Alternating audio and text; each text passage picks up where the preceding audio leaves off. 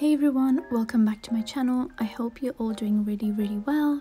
So this video is going to be me basically trying out bubble nails. I'm kind of late to this trend but since I have time now I kind of wanted to give it a go. So I'm to be testing out Vrenmol's new build gel that they've kindly sent me. Um, and I do really like this builder gel. It's really like sturdy and it stays where you put it. I really do like it. I used it in my previous video as well doing the plastic wrap nails. I will link that down below in case you're interested. And what I'm doing is I'm basically applying a thin layer all over the nails. So that's just so um, I can create like an even surface from cuticle to free edge and that's basically what I'm doing. The brush I'm using is from Glitterbels. It's their pastel um, gel brush, which I will also link down below. And that's all I'm basically going to do. It's pretty straightforward. Just add a nice thin layer. And then I'm gonna go in with more, as you'll see in a minute, with bigger beads basically. And I'm going to be adding structure to the nail and the whole point of this is so that my nails are not too thin and they don't just um, break easily. This will just make it a bit thicker. So with gel you kind of just want to guide it more than kind of um, pull it. I'm not pulling too much like I'm not putting too much pressure when I pull so that I am uh, making the nail thick a bit and then I'm just basically going to repeat that. I'm also building my apex area and it's pretty easy to work with this gel. It feels really um, like hard, really sturdy, but when you stop moving it, um, it self levels really nicely so you don't have to do much work um, as long as you lay it um, evenly throughout all over the nail and you'll be good to go. So as you can see from the side, um, I had a bit an apex. I have a little bubble in there somewhere which I'm, I basically removed. You want to remove bubbles because those can lead to lifting as well.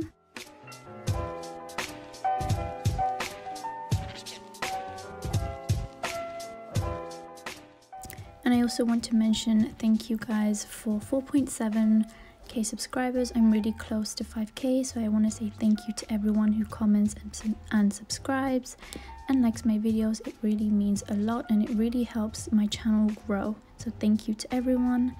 Um, if you are enjoying this video so far please don't forget to hit that subscribe button and that like button if you are enjoying it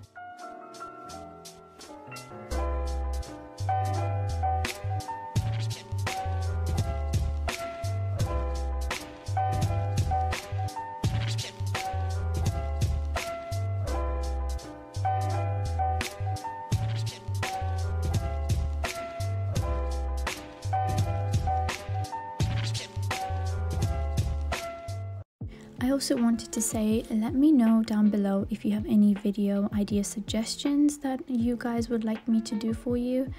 Um, I'll be more than happy to try those out. I already have had some people suggesting some things which I will get onto. I'm just making a list of everything that I want to get done and what people want me to do. So um, yes, those are coming, just letting you know.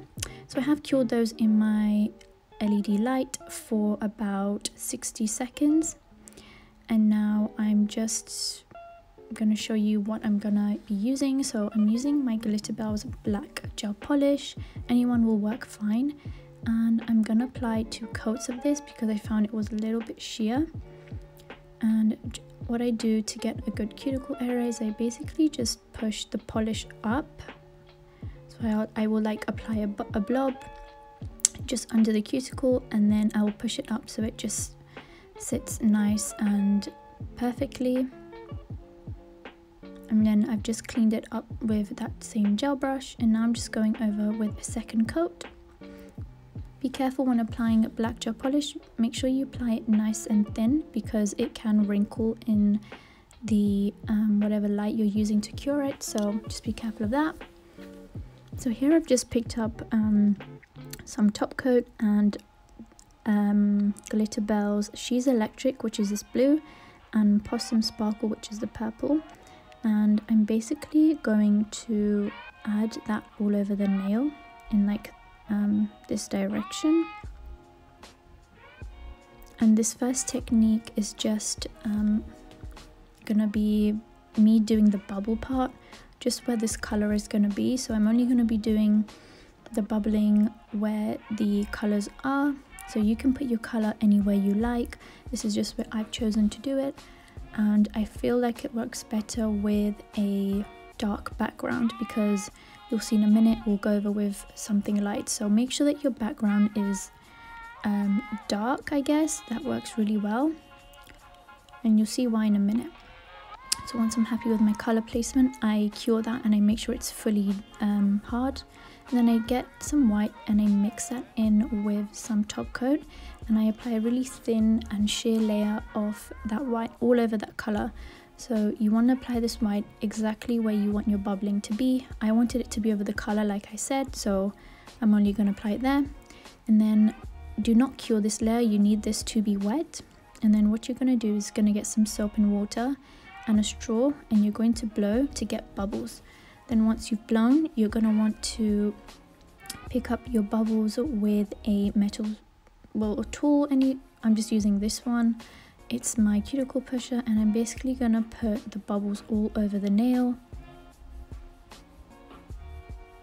And make sure it covers the whole nail. Try not to touch your tool to the finger and once that's cured for 60 seconds it will look like this and it actually looks really really good. Like for a first try I was really surprised and it was giving me like um like beach vibes you know? Like the foamy part of the beach of like the um, seawater.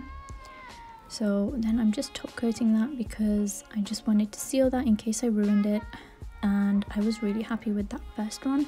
Let me know down below what you think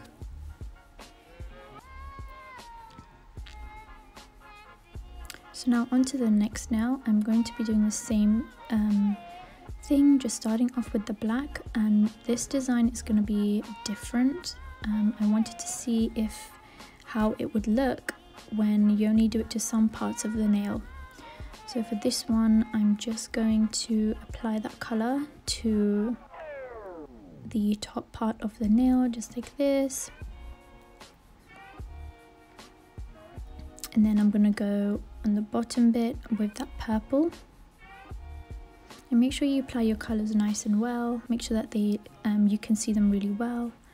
And then again going over with that white nice thin layer.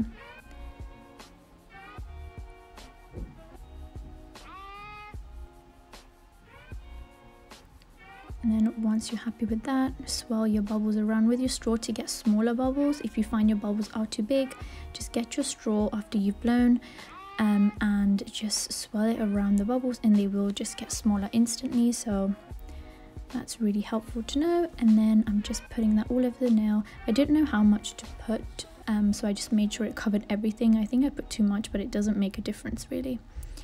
And then that's what it looks like and I think it looks so cool. I really like this technique this bubble design thing it looks really nice. I really like it and I'm probably gonna do these kind of nails again.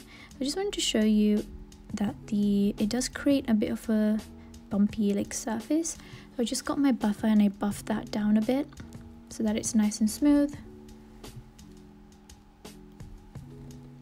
And then it's fine. Don't over buff in case you ruin the bubbles and go too low. But otherwise if you buff a little bit it will be fine so for this next nail I wanted to do I wanted to try on a different colored background um, so I started off with the shade She's Electric, a really nice royal blue and I applied two coats of that and then I went over with Possum Sparkle. It's like this purpley color with really tiny amounts of like blue flexes in there. You can't see it too much, but um, it is there. Then I've just left that layer nice and wet and, and then I put my bubbles on top. Again, I think I put too much, but I don't think it matters. Um, they're just putting on the bubbles and then I'm going to cure that. And I wasn't too happy with this one because I feel like that I could have added more purple so if you're gonna do this try to make your your the layer on top um, to be more pigmented and then I tried to add some white in there to see what it would do. Like what would happen if it would look the same if it would look different. Um, it just ended up uh, bringing out those uh, bubbles a bit. But I don't think this was really necessary. Again this is just like me trying it. I don't this is not really a nail look. Um, and then here on this nail the pinky nail I wanted to do a marble. So here I am just getting my brush and those all those colors and I'm just quickly marbling them. This is another really quick way to do marble. I have done a video on how to marble an ombre with gel polish which I will be linking down below. And this is what it looked like in the end just filling in some of those empty spots and then curing that layer now again mixing more white with more top coat and going over the whole nail. Making sure to apply that layer nice and thin. And then leaving that um, uncured and then going over with the with the foam with the bubbles. And then just cure that for 60 seconds. And I wiped it away and this was still cool. I still think this looked cool. It looked a bit um, I feel like it could have um, done with less bubbles but it still looked cool. I feel like this would look nicer on shorter nails. Um, and then the last finger the thumb I'm basically going to do something similar to the to the index finger but I'm just gonna slightly switch up how I place those um, that purple and that blue.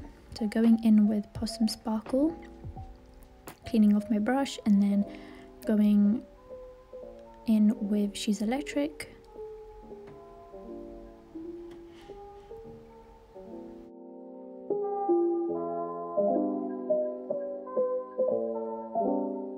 And then just going over with that white again just where I want the bubbles and then going over with more bubbles blow into the straw swirl the straw if you want smaller bubbles and then apply with your tool and then cure and this one was also quite successful I think. I think I like how there's like some bigger bubbles and smaller bubbles in there. Now here I was kind of experimenting what would happen if you painted it all with just like white. So I didn't dilute I I didn't mix sorry this white with any top coat. I just went on with the white just to see what it would look like I was just experimenting here and I'm just using my brush to get those edges really nice applying those bubbles and then curing. Once I'm happy, just cure everything. and then once I took it off, I realized I kind of ruined the nail. Um, don't get me wrong, this could still look really cool. So I tried to file it with my 180 grit file um, to make it look less bulky, which kind of worked. But I feel like it was too much white and everything just got lost in there and you couldn't see the bubbles that well anymore. So yeah, that finger was kind of a fail. But I'm still determined to fix it, so I went in with dark blue, some the she's electric shade, and I'm kind of just trying to press that into the bubbles and then adding more of that purple color. I'm just really trying to fix it at this point. Going in with more of that purple and then I just left it at that because I didn't want to uh, ruin it even more or experiment more. I think it was just not going to work at that point, so I just left it. It didn't look horrible, um, but it definitely, I feel like it didn't really look like a, a bubble now, sorry. So now I'm just finishing off with a nice layer of top coat. And I didn't I kind of started to uh, top coat it and then I realized it's not really gonna top coat because it was all just seeping into the like the really big holes of the bubbles so I just didn't top coat that one and I just top coated the last one. And then added some cuticle oil. And this is the final result. Let me know what you guys think down below. Do you love this look? Do you hate this look? Let me know what you thought of my video. Thank you guys so much for watching. And i will see you guys in my next one. Bye guys